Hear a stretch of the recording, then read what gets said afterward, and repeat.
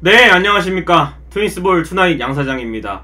10월의 어, 첫 승리입니다. 네, 그래서 3연패에서 탈출을 한 LG 트윈스였는데, 아, 그동안 여러분들 이 2위는 확정이 됐지만, 뭐 2위도 잘한 거지만, 타선이 터지지 않아서 좀 답답한 흐름이셨을 거예요. 근데 이제 역시 선수들이 어, 약속의 땅, 광주에서 타격감을 찾으면서 오늘 두 자릿수 득점을 기록하면서 기아 타이거즈를 상대로 또 승리를 챙겼습니다. 거기에 이제 김윤식 선수가 또 시즌 8승을 챙기면서 아주 좋은 페이스로 가을 야구 준비를 마쳤고요. LG 트윈스 계속해서 이 시즌 최다승 기록을 이어나가게 되었습니다.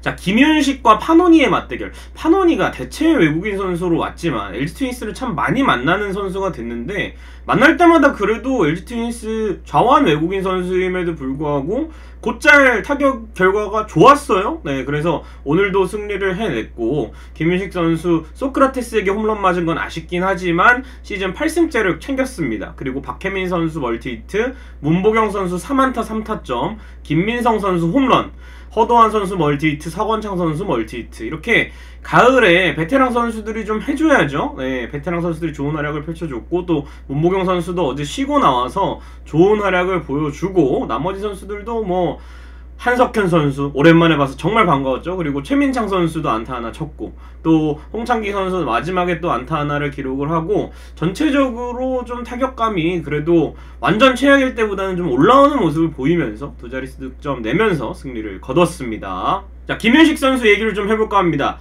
8승으로 페넌 트레이스를 마감했습니다. 무실점 행진은 깨졌지만 개인 4연승으로 시즌을 마무리를 합니다. 어, 승운이 좀 따르지 않아서 10승에 도전에 실패를 좀 했지만 10승이 중요한 게 아니라 이 선수는 올해 세 자릿수 이닝도 넘겼고 또 내용적으로도 정말 좋은 피칭을 하면서 트윈스 후반기를 거의 책임지다시피 했어요. 이 선수가 후반기에 제대로 이 이닝도 못 먹어주고 계속 강판당하고 또 1군과 퓨처스를 왔다 갔다 했더라면 정말 생각하기도 싫습니다. 불펜에 과부하도 걸리고 또 선발진 고민도 깊어지고 포스트 시즌도 좀 기대가 안 될 텐데 켈리 플럿코에 이어서 김윤식까지 확실한 3선발 체제가 일단 갖춰져 있으면 굉장히 또 기대를 좀 걸 수가 있잖아요. 그래서 김윤식 선수가 아주 뭐 대단한 피칭을 보여줬고 오늘도 물론 이제 피안타도 많았고 소크라테스에게 홈런을 맞긴 했지만 그래도 뭐 주자가 나갔음에도 불구하고 또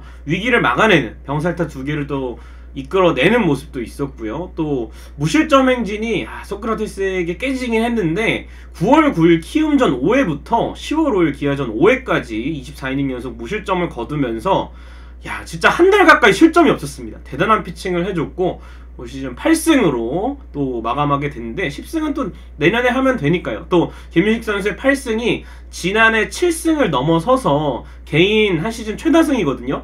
이 승을 모두 선발승으로 챙겼다는 거 대단히 고무적입니다. 그래서 김윤식 선수가 시즌 8승으로 어, 페넌트레이스를 마감하게 됐다는 거 박수를 보내고 싶습니다.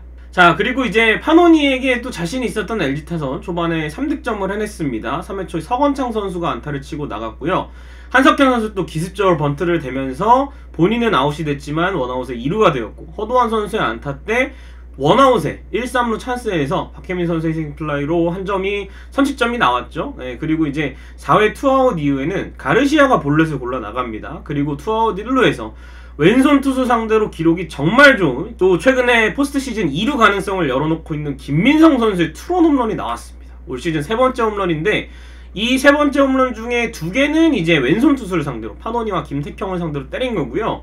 또 광주 기아전에만 또 두 개의 홈런이 있습니다. 김재열 선수와 파노니 선수 상대로 홈런을 때렸는데 야 최근에 김민성 선수가 뭐 수비에서도 이루 수비도 나쁘지 않고 또 타격에서도 이렇게 쏠쏠하게 쳐주고 있기 때문에 어 가을 야구에서의 활용폭이 상당히 기대가 됩니다. 백업 3루수 그리고 왼손 투수가 나왔을 때 주전 2루수 왜냐하면은 우리가 이제 플레이오프에 유력하게 올라올 팀이 키움이나 KT인데 여기 KT는 벤자민 있죠.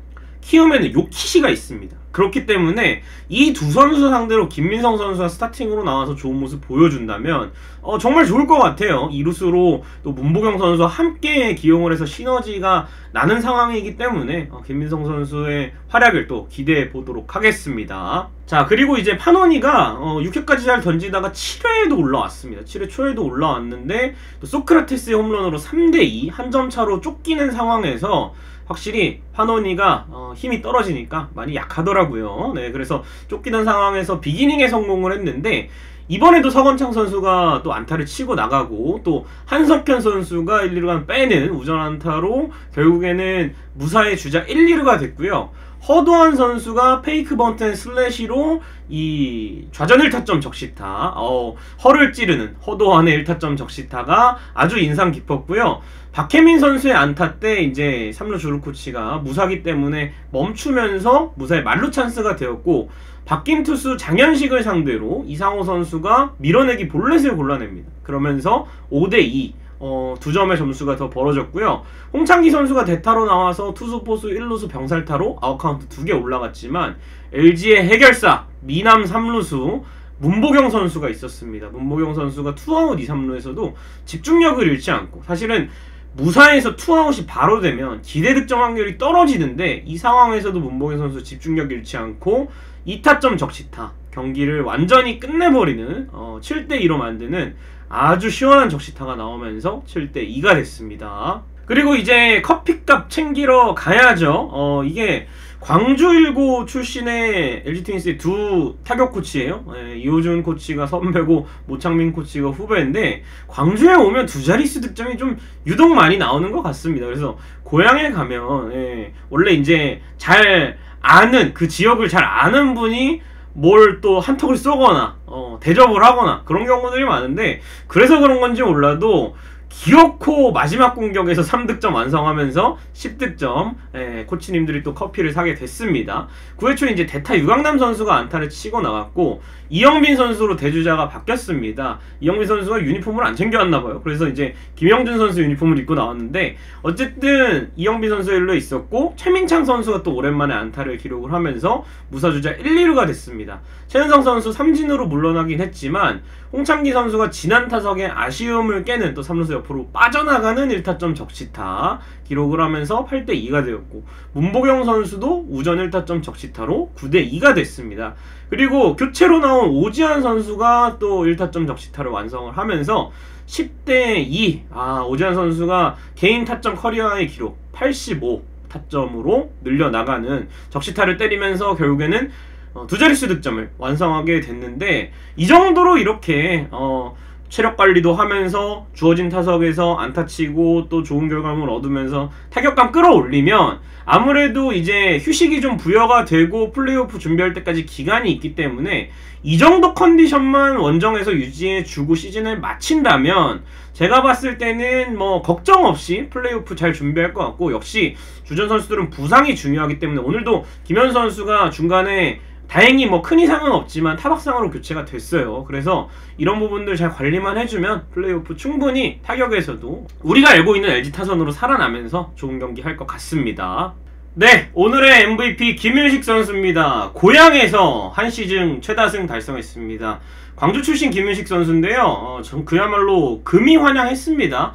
올 시즌 최종 성적 114와 3분의 1이닝 8승 5패 평균 자책점 3.32를 달성을 했습니다. 올 시즌에 이 개인 한 시즌 최다 이닝, 한 시즌 최다승 3점대 평균 자책점 달성하면서 시즌 마쳤습니다. 내년이 더욱 기대가 되고요. 이 선수 아직 2000년생입니다. 어, 대단한 활약을 보여줬던 김윤식 선수고 또 KBO 리그 9월 MVP 후보에 올라 있어요. 고우석 선수도 올라 있고 김윤식 선수도 올라 있는데 개인적으로 김윤식 선수가 정말 9월에 경이로운 성적을 거뒀기 때문에 물론 고우석 선수도 잘했지만 많은 투표를 또 김윤식 선수에게 부탁을 드리겠고요. 또 김윤식 선수 아이디가 두 개신 분은 김윤식 선수와 함께 고우석 선수도 많은 투표를 신한 솔 앱에서 부탁드리도록 하겠습니다. 자, 내일 경기 이지강 선수와 임기영 선수의 맞대결입니다. 이제는 LG도 이지강 선수, 김영준 선수, 강효종 선수 이렇게 내년에 쓸 선발들을 테스트하기 위한 무대가 마련이 됐습니다. 기아와의 시즌 최종전이기도 하고요. 5위 싸움 판도. 오늘도 기아가 이제 지면서 매직 넘버를 줄이지 못했는데 내일도 지면 진짜 이거 어떻게 될지 몰라요. 그래서 한번 5강 싸움 구경 재밌게 한번 만들어 봅시다. 그래서 광주기아 챔피언스 필드에서 내일도 SBS 스포츠와 함께 하시면 되겠습니다. 자, 트윈스볼 투나잇 마칠 시간입니다. 일단 정규 시즌은 2위로 마무리가 됐고요. 남은 경기 편하게 즐기시면 될 것 같습니다. 또 이대호 선수의 마지막 경기도 남아 있고 또 KT와 시즌 최종전 어, 남아 있습니다. 그래서 이제 쭉 일요일까지 하면 정규 시즌이 끝나는데요. 또 마무리 잘 해서 선수들도 부상 없이 끝내서 플레이오프 준비 잘했으면 좋겠고 저도 이제 계속 영상 쉬지 않고 만들 테니까 많은 관심을 부탁드리도록 하겠습니다. 구독, 좋아요, 알림 설정 부탁드리면서 오늘 순서 마치도록 하겠습니다. 여러분 고맙습니다.